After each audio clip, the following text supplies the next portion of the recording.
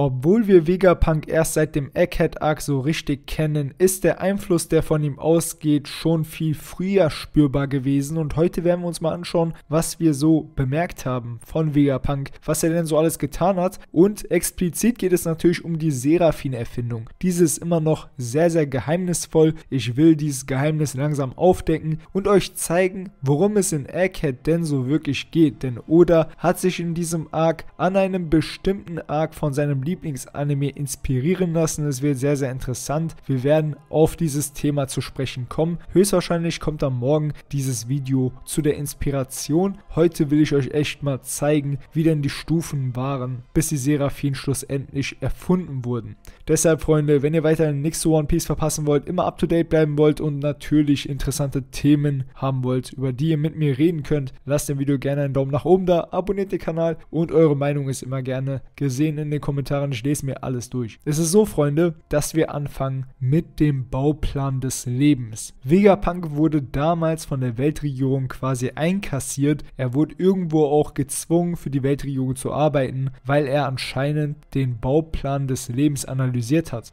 Es ist quasi eine Anleitung, wie man Leben erschaffen kann. Er hat anscheinend von dieser Anleitung die Idee, dass man halt Menschen oder besser gesagt Seraphin erschaffen kann. Das war der Grundbaustein, den er brauchte, um heute die Seraphin erschaffen zu können. Er hat viele Experimente an verschiedenen Rassen, Menschen und vielen mehr durchgeführt. Wir haben gesehen im Flashback von King, King ist ein Lunarier, eine sehr, sehr seltene Rasse ist das und Vegapunk hat mit ihm Experimente durchgeführt und hat dabei gar nicht auf die Moral geachtet. Ihnen schien der Fortschritt mehr wert zu sein als die Moral. Wir haben hier also einen wahnsinnigen Wissenschaftler in One Piece, der auf jeden jeden Fall nicht netter als Chisa Clown ist. Er ist auf jeden Fall auch ein Psychopath und meiner Meinung nach ergibt es keinen Sinn, wenn Ruffy jetzt hier vor Vegapunk Gnade walten lässt, aber bei Chisa Clown so getan hat, als wäre Chisa ein sehr, sehr gestörter Typ. Also das ergibt für mich keinen Sinn, wenn man das jetzt macht. Man sollte hier auf jeden Fall auch auf den Aspekt zu sprechen kommen, dass das, was Vegapunk macht, um den Fortschritt zu halten, gar nicht klar geht. Die Seraphin scheinen Kinder zu sein,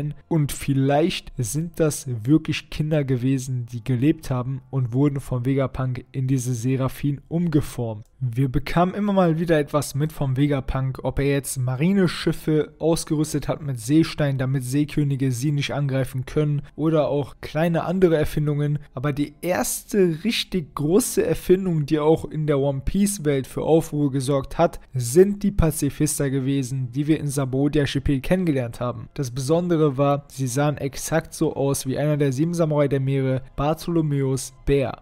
Das Interessante hier ist, dass die Pazifister wirklich 100% aus Metall und anderen Rohstoffen bestand. Es waren also keine menschlichen Körper, es waren wirklich Cyborgs, also man könnte sogar sagen, das waren echte Roboter und bei den Seraphin haben wir jetzt die Entwicklung, dass das anscheinend echte Lebewesen sind. Das ist nochmal eine Stufe drüber. Und die Pazifister, wir wollen nicht darüber reden, was für einen Schaden sie angerichtet haben im Marineford-Krieg. Die Alliierten von Whitebeard hatten alle Hände voll zu tun und sogar für starke Charaktere waren die Pazifister ein Hindernis. Doch wie konnte Vegapunk von dem Pazifister hoch auf die Seraphin? Das ist ja schon eine ziemlich große Änderung. Während des Timeskips haben sich einige Dinge getan, von denen wir nur grob was mitbekommen haben. Wir haben diese Dinge jetzt auch auf Egghead gesehen. Und zwar rede ich von exakten Klonen von Menschen. Wir haben Stussi kennengelernt, damals auf Hurricane Island. Und Stussi ist wohl in Wahrheit ein Klon von Miss Bucking, welche ein ehemaliger Rocks-Pirat war. Vegapunk hat es irgendwie so eingefädelt, dass Stussi sich in der Cypher Pole Ages Zero einbinden kann und dort als Spion für ihn gilt. Und das ist schon heftig. Das ist eine sehr, sehr krasse Nummer. Anscheinend hat Stussi so lange existiert, dass sie das Vertrauen von den CP0-Agenten auch gewinnen konnte. Sie ist wirklich ein Urgestein und die Leute haben ihr anscheinend wirklich vertraut. Da fragt man sich, wie viele Jahre existiert Stussi? Also wie lange ist ist es her, seitdem Vegapunk diesen Klon erschaffen hat. Wir wissen, es ist schon einiges an Zeit vergangen, seitdem unser Freund Abel in dem Labor von Vegapunk war und dort mit ihm Experimente durchgeführt wurden. Also kann man sagen, okay, Vegapunk konnte die Klone vielleicht schon vor ungefähr 15 Jahren erschaffen oder 20 Jahren. Und diese Klone, die sind extrem stark, denn es gibt noch einen von ihnen. Und dieser Klon ist uns allen bekannt, denn er ist auch einer der neuen sieben Samurai der Meere gewesen. Und hier haben wir wirklich einen Knackpunkt. Und zwar ist es so, dass die Weltregierung natürlich irgendwo auch Vegapunk finanziert. Und vielleicht musste Vegapunk beweisen, dass seine Idee mit den Seraphin auch wirklich Hand und Fuß hat und das Ganze der Weltregierung helfen kann. Und der Beweis dafür war, dass er es geschafft hat, einen Klon zum Sieben Samurai der Meere werden zu lassen. Und dieser Klon ist niemand Geringeres als Edward Weevil, der Klon vom stärksten Mann der Welt, Whitebeard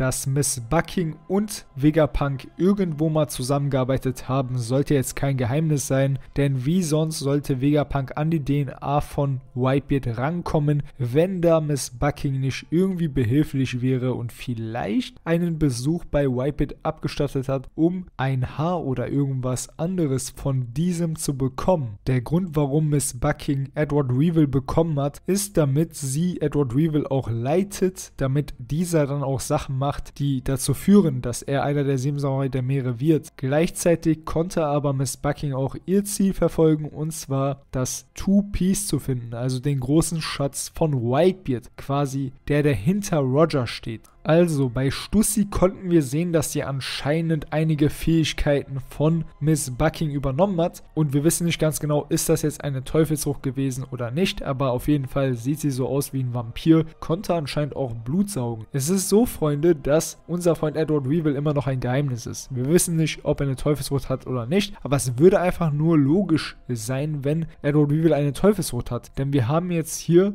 bei den Seraphinen Teufelsfrüchte, dann, dass das auf jeden Fall menschliche Körper sind und zum anderen, dass sie diese Lunaria-Fähigkeiten haben. Wenn wir jetzt einen Schritt zurückgehen, dann würde die Lunaria-Fähigkeit wegfallen, aber die Teufelsfrucht und der menschliche Körper würden bleiben. Das würde also Sinn ergeben, dass Edward Weevil auch eine Teufelsfrucht hat, aber ob das jetzt wirklich auch die Teufelsfrucht von Whitebeard ist, das ist ein ziemlich großes Geheimnis, denn die Erdbebenfrucht scheint eine Götterfrucht zu sein, also die vom Erdgott und ich würde sehr schwer behaupten, dass man das so einfach imitieren kann. Aber eine ähnliche Teufelsfrucht ist da definitiv drin. Vielleicht eine Teufelsfrucht, die in Richtung Full Counter geht. Also wenn man zum Beispiel Edward Weevil versucht zu schaden, kann er den Angriff zehnmal so stark wieder zurückgeben. Also wer, ich denke mal, das System von Counter kennt, der weiß wohl, was ich meine. Man könnte damit auch Erdbeben und so weiter auslösen. Vegapunk ist unberechenbar. Er hat zugelassen, dass Edward Weevil Sephir, eine Legende der Marine, angreift, ihn einen Arm abschneidet und seine Rekruten auch quasi auslöscht. Dann hat aber Vegapunk Sephir quasi geholfen, einen neuen Arm zu bekommen. Das ist doch crazy. Also zum einen führt er dazu, dass Sephir einen Arm verliert, aber baut ihm dann einen neuen Arm.